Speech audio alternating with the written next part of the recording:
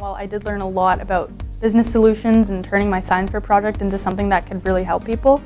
I learned a lot about how when you want to do something like create a business and help people, it's a lot more than just creating the actual product.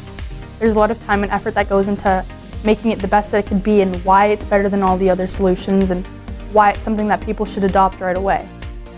I thought that adding a whole new idea onto the Canada-wide Science Fair and our projects there was really a great way to show that our projects aren't just something we do for the Canada-wide Science Fair and then we're done with. Like you can keep expanding on your project and you can actually even make a career off a Science Fair project.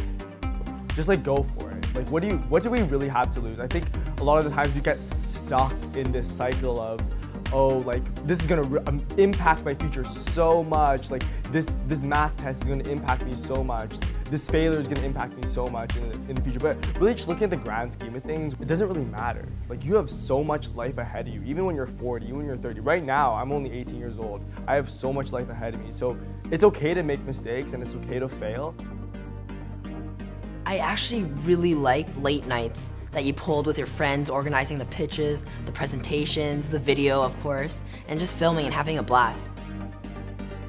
I mean, I would say that it's a lot of work, but you you do get out of it what you put into it, and that if you're prepared to work hard and you already you feel passionate about your project and you already have one before you come, that it's going to be worth it. If someone was looking to take the boot camp next year, I would say that you definitely should because honestly it just changed my perspective on a lot of things.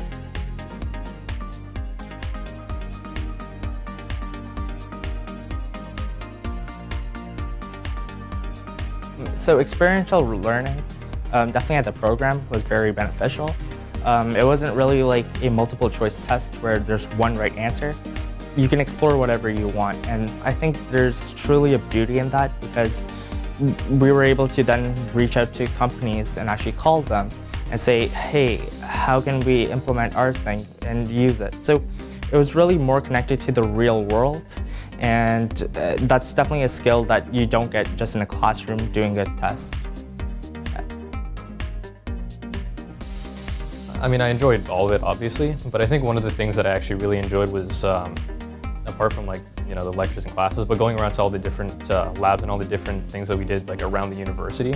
Um, and just seeing like all the various research projects that are going on in, like right now.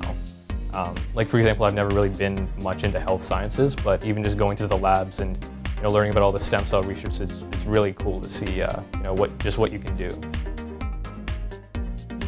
I gained a solid understanding of entrepreneurship. I learned that don't take no for an answer. Keep busting down doors, keep hustling, keep working, and you'll if you really have that strive and that energy and you really want to see yourself succeed, you can do it.